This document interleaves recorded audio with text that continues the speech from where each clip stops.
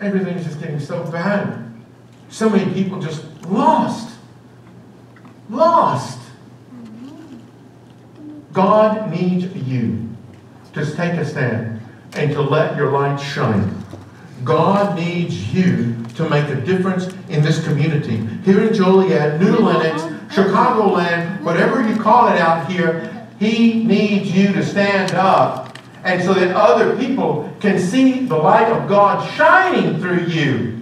Listen, it is a joy and a blessing to walk in the, in the splendor of God's marvelous light. It's a blessing. It's a blessing that every one of us have because we're His children. Because we're His children. But when we when we take on the whole armor of God, listen, you can walk.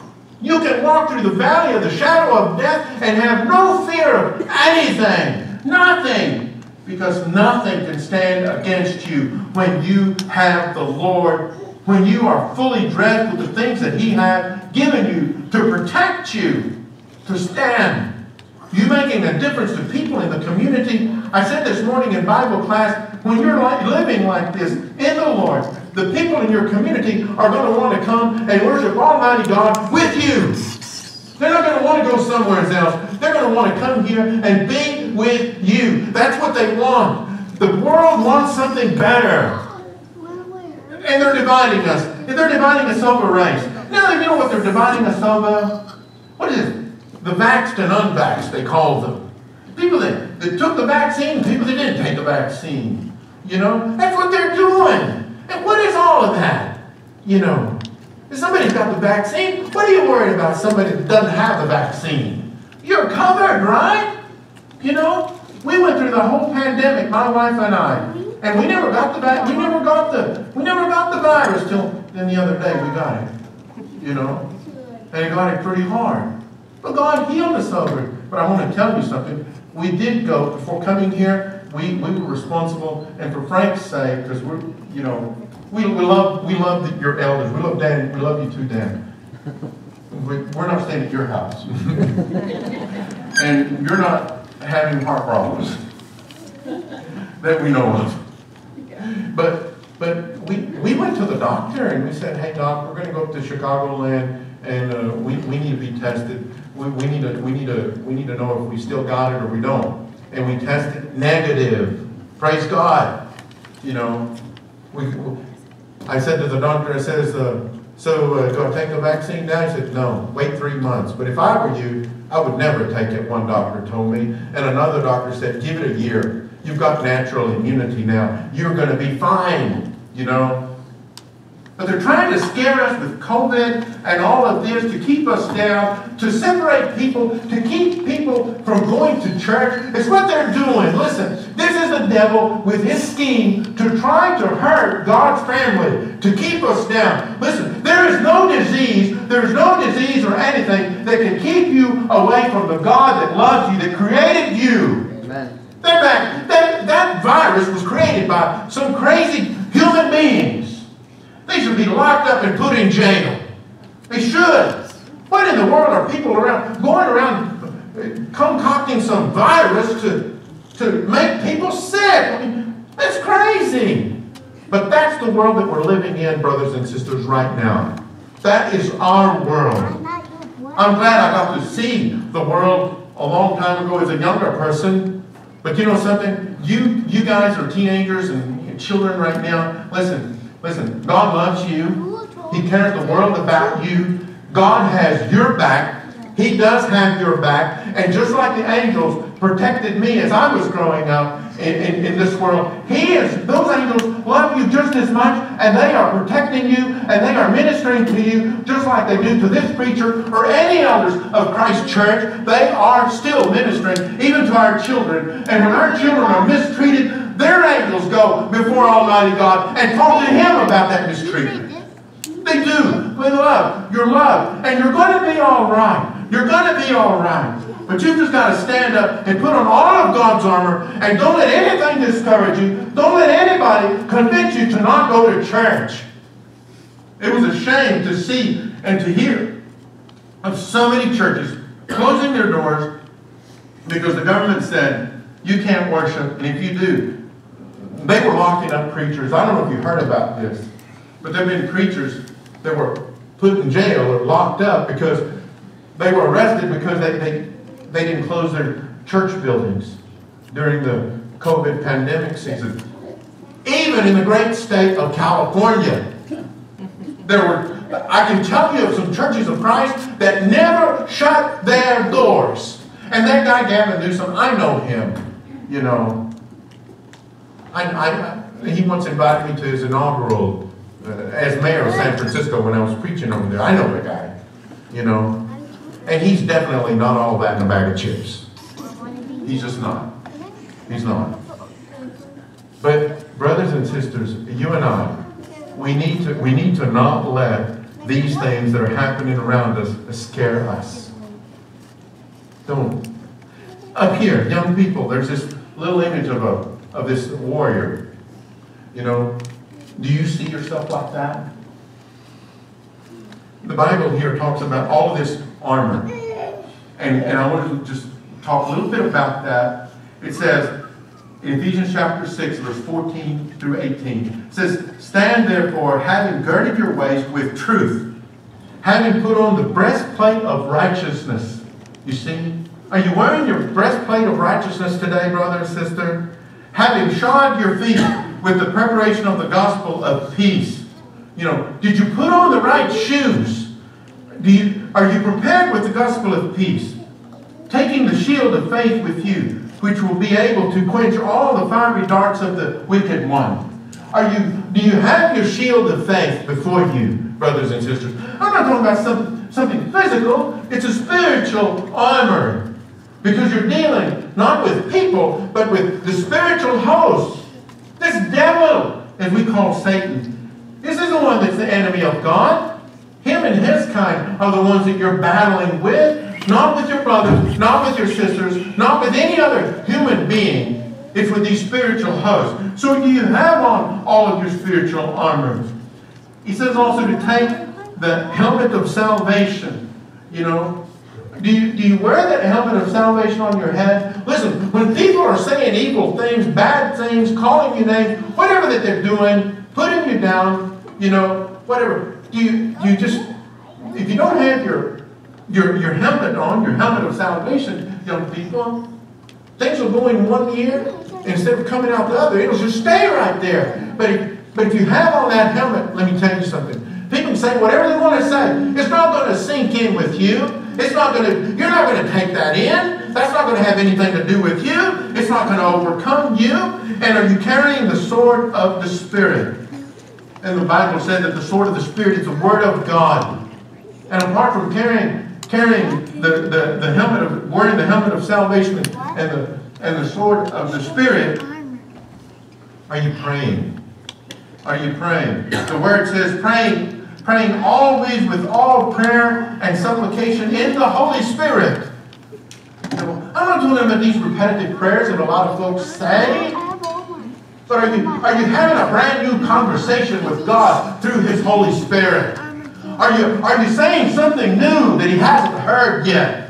coming out of your mouth that is good and you you praising him and you speaking with him are you praying for your brothers and sisters with all of your heart in the Holy Spirit? Are you doing that? And are you being watchful to this sin and with all perseverance and supplication? For who? For all of the saints, for all of your brothers, for all of your sisters in Christ. This is why we need one another. Listen, we're not living in this world uh, alone. We've got God, we've got His angels, and we have each other because we're His family. We're his family. And because we're his family, we encourage one another. We build up one another. Listen, we don't tear down one another. We don't criticize one another. We lift up each other. That's what we need to work on more and more. If the churches of Christ in this world would start doing more of that, building up one another, listen, our churches would be growing by leaps and bounds as they did back in the in the 40s, 50s, 60s, 70s, the 1980s instead of being in decline since have since 1993, just everything going downhill. You know, we've been we, we've been riding on the coattails of our of our grandparents and, and our fathers and mothers, our aunts and uncles in the faith For too long, we've been doing that. We need to step up and do something greater. But you're not going to be able to step up and do anything greater unless you wear the full armor of God. Because it's through Christ that we can do all things because He is the one that gives us the strength to do all of this. He does. Always remember, as you're having difficulty in life, you know, some of you, some of you say, I don't know what the preacher's talking about because my life is great. I never had a problem. Well, you know what? If that's you, God bless you. I'm glad that there are people that are just having a wonderful time in life without any worries, without any hassles, without any complaints, without any problem. God bless you. You know, tell some of us how you do that. you know, because some of your brothers and sisters might, might need some of that. You know, don't keep all of that to yourself when we consider how to stir up one another, that's when we're going to be sharing of each other. You know, you see a brother or sister struggling, listen, help them. It's your job to do that. God wants you to do that. You help someone, and what's going to happen to you? And God's going to help you more. God's going to bless you more. You know, the, the Bible says it's better to give than to receive. And some people say, no, I like to receive more than I like to give. And there's people that live like that, believe me. Even within the church you know. But but those of you that you give, you know what the you know what the Word of God is saying. You understand that. It really is better to give than to receive. It's a great blessing. What I find is the more that I give, the, God, the Lord God Almighty sees that and He gives more back. He does that because He loves. But when you're struggling, always remember that God, your Holy Father, is always within your reach.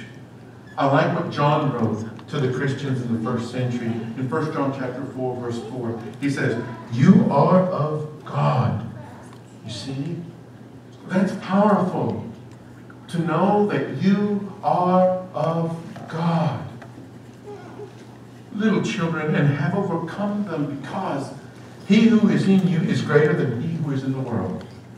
Your heavenly Father, whose Holy Spirit dwells within you is greater than this enemy of God that you know as the devil. Your enemy is no brother or sister. It's no human being. It's this devil that's got it in it to defeat you, to hurt you, to put you down. I'm grateful that Jesus was able to rise up from the dead. This is how special you are. God became one of us through his son. He did that to become flesh and blood like us. And not only that, but to live and even die for us. You know, the angels, the angels didn't get a second chance. The devil didn't get a second chance, and then his angels got a second chance. They just were condemned. A number of them were sent into the abyss and, and, and are being held down by everlasting chains to this day and will stay there till the day of judgment. And another group of them, including Satan himself and his angels, some of his angels, are down here on this earth right now. And they've been down here, they've been down here for quite some time. They have. And he's got it in for you. He does not rest. He is relentless. He wants to destroy you. He doesn't want to see you be your best. He wants to take with him as many as he can on Judgment Day because he knows he, he knows that he's already lost and it's not going to get any better for him. But his little sting on us is to take as much of humanity as he can. You remember what Jesus said in Matthew chapter 7, verse 21 to 23. Jesus said this, Not everyone who says unto me, Lord, Lord, will enter the kingdom of heaven, but he who does the will of my Father who is in heaven. And many will say unto me that day, Did we not prophesy in your name, cast out demons in your name, and do many great works in your name? And Jesus will say, Depart from me, you evildoers, I never knew you. The Lord's going to say that to people. And I'm convinced of this. He's going to say that to people within the church. Because there's a lot of people that are not living as they should for the Lord. They're not on fire for the Lord. They, they don't delight in the Lord. They just have a casual walk with the Lord. Whenever they need the Lord, they call on Him. But if they don't need Him, they're just fine. All of those people are the ones that are not doing the will of God. Because God says you're His people. God says you belong to Him. You're of Him. But if you live like you're not of Him, listen, you're going to miss the boat. You're going to miss the, you're going to miss the ride to heaven, to have eternal life forever. You're going to miss out on that. You're going to miss out on that. And I tell you the truth, on Judgment Day, there's going to be a lot of people that are going to be crying out to God and saying these same things that Jesus prophesied in the first century when he took on flesh and became one of us. There are people that are going to say the same things that he says that they're going to say, and he's going to tell them, Depart from me, you evildoers. I know ye not. I never knew you. He's going to say that. And believe me, nobody's going to want to hear that. Nobody's going to want to hear it, but they will hear it. Let it not be any of you. You be the ones that the Lord invites you in to his home in heaven. We're closer to eternity today than we were yesterday. We're closer. We're closer to the second coming of Christ than when we first believed, or even when the apostles first believed. We're closer to that day. Eternity is coming. The question is, are you ready? Are you ready for that day? Are you ready for that day? It's the Lord that's calling you today. It's not me. It's not your elders. It's not your Bible teachers. It is the Lord that is calling you today. If you haven't been baptized this morning for the forgiveness of your sins, this is a good day and a good time to do it. There is, there is water, and I believe it's warm, and there's all the clothing, the towels, everything that you need is ready. I hope I'm saying the truth, brothers. I'm assuming that it's all ready. And if it's not, listen, we'll get it for you. We'll get it for you. If you haven't put on Christ in baptism, do it now. Do it today. You know, all you have to do, you believe that Jesus Christ, Son of God, so all you have to do is say, I do, I believe, I believe. And you do that, you can be baptized, but it's, it's more than just believing. You know, are you willing to repent? Are you willing to give your life over to Him? And let Him take reign of your life. Let Him be your Savior. Let Him be your Lord, your Master. Are you willing to do that? Because if you are, you don't have to go through spiritual warfare alone. You can do it with God and His angels at your side. If you have need, anything, what it might be, come as we stand and sing a song of invitation.